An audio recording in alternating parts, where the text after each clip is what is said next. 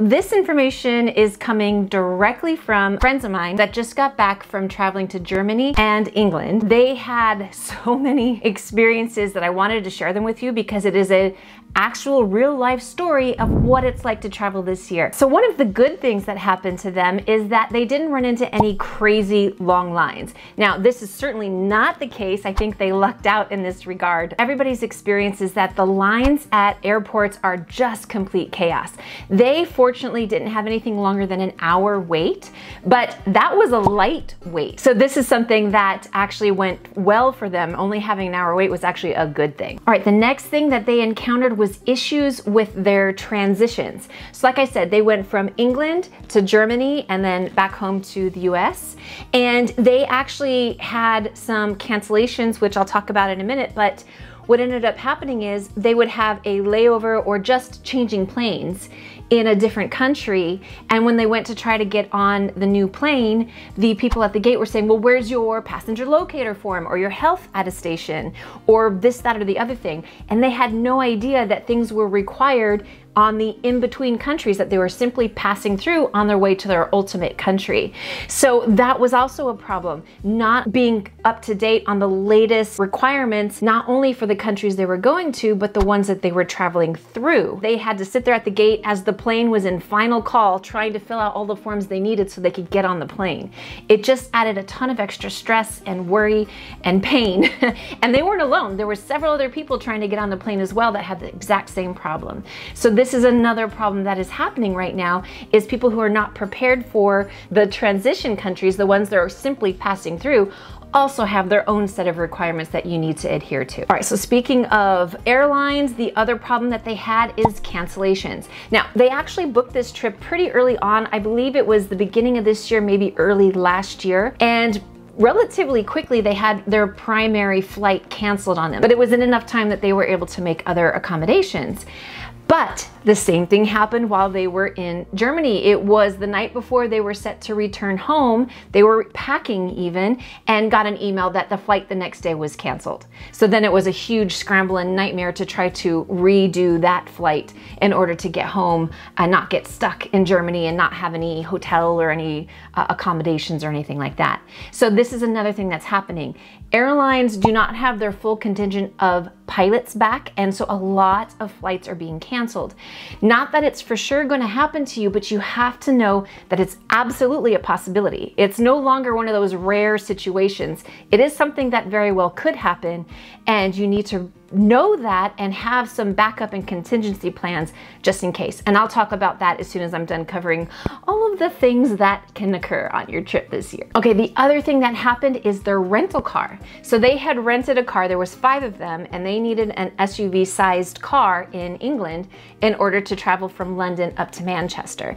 And that's what they reserved. And right up until the day they were supposed to get the car, the uh, it was Hertz actually didn't end up having the size available and they had to get a Toyota Yaris, which if you don't know cars, is a very tiny car for five people plus all of their luggage. And so this is also occurring where rental cars either you can't get them at all uh, or prices are super inflated or the cars are being changed at the last minute. So just know that that might be a possibility as well. If you need a car, just plan around that, know that, have contingencies for it. But if there's any way you can get away with not necessarily needing a car, it might be better to avoid that because that's one less thing that you're gonna have to stress about. So there were some other stresses with regard to their trip that I wanted to mention as well, but it wasn't necessarily particular to 2021. It was simply to do with how much they had planned in the time allotted. So they had things jam packed going from place to place to place. They ended up changing locations, I think it was four times. And so that sheer volume of tourism all in one packed, jammed schedule, they were just exhausted. And then they, what they found is that when something would go wrong, it would have a domino effect on everything else after that. And so it just created more stress on their vacation. So that is another thing you need to consider, especially this year. There's a likelihood of things happening and stress occurring. So maybe this is not the best year to jam pack full. I know we've been stranded for a year at home and you're dying to get out there, but maybe for this first uh, travel experience in 2021, spread it out a little bit, give yourself a little more room so that when things go wrong, it's not cascading and causing everything else to go wrong as well. So, how do you protect against this? What should you do? Well, here are my tips for overcoming some of these very specific things that are happening this year. The first is not only checking the travel requirements when you book your trip, but staying on top of them all the way through, including while you're on your trip. So, as I mentioned, one of the problems was knowing what the, the countries they were passing through, what those uh, travel requirements were. Part of that was because flights were canceled and they made a change at the last minute. Like they didn't know they were going through France, so they didn't know to prepare for it. But that is why you need to check your travel requirements all the way through, even while you're traveling. So before you head out for the next destination, make sure you're double checking what is required in that next place or the, any places, any countries you're traveling through to make sure you're always up to speed with the absolute latest information.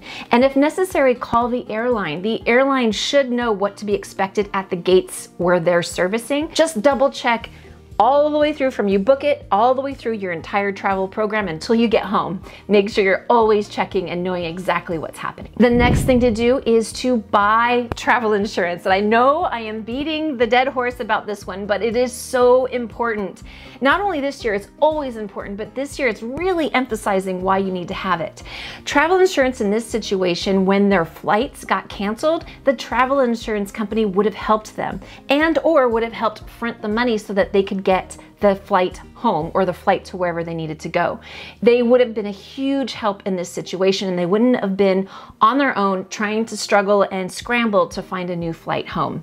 In addition to flight cancellations, delays, if your baggage is lost or stolen, if there's a medical emergency and you need, or a dental emergency and you need to be airlifted or you need medical care, this all is covered by travel insurance. And also many of the travel insurance companies nowadays, they should be having some COVID protections. None of them are gonna cover every single COVID situation, but there should be some protections in case you get sick abroad or in case there's an outbreak and a shutdown and you need to get home. Travel insurance should be able to help you out with that. And we do have a company that we like because they have COVID protections and they also cover for things that aren't covered by other agencies, such as they call them adventure things, but they're not. It's things like hiking or kayaking and little things that you would imagine would be covered by insurance, but is actually not unless it's specifically written out in the policy. So this company that we recommend does cover those things, and that's why we recommend them. I have a link to them below if you'd like to learn more. If you go to any of the other travel insurance companies, make sure you're reading the fine print and know not only what it covers,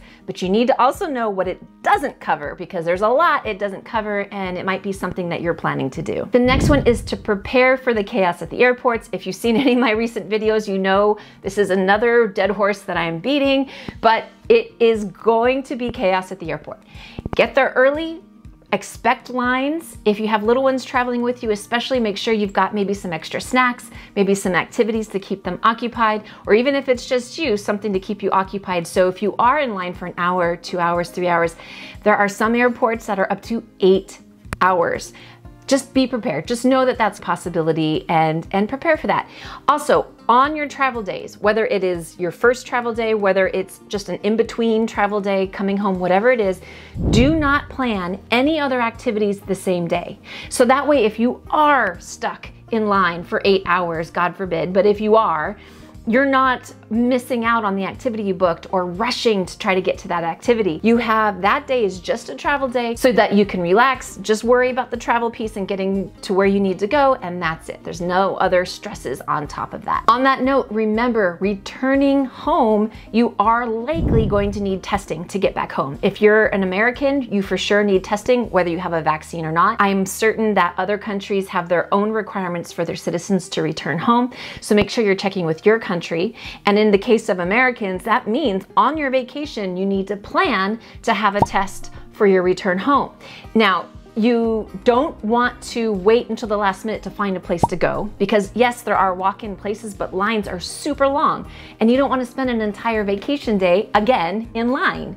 So make sure you're planning for that ahead. You can even call your concierge to get an idea of where you can test. Make appointments or reservations whenever possible. That way you have it planned and you know it's going to be covered. Also, make sure you're doing it. So if it's a 72 hour window for the US, you have to be tested within 72 hours.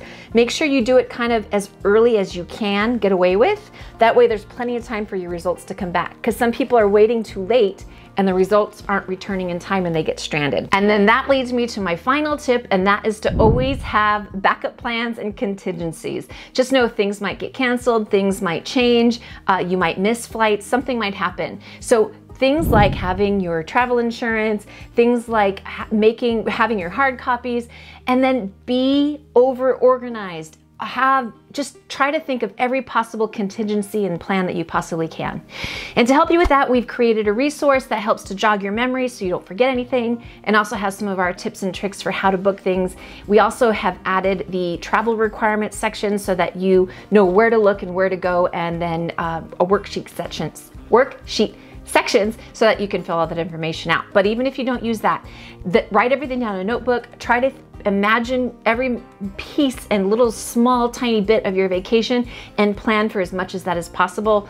Build in redundancies, build in protections and backup plans because this is the year that things are going to go wonky. And if you're if you're planned out and you have a plan for everything and you're prepared and nothing goes wrong, fantastic. But at least if something goes wonky, you, it doesn't stress you out and freak you out. You have a plan and your vacation can still happen. All right, so if you are traveling this year, be sure to check out these videos. They should help you out with your planning and preparation. And like I said, we have that resource if you're interested in that uh, and the travel insurance if you're interested in that. And then if there are any destinations that you would like me to cover travel restrictions on, go ahead and comment below. Other than that, we will see you on the next video. Take care. Bye-bye.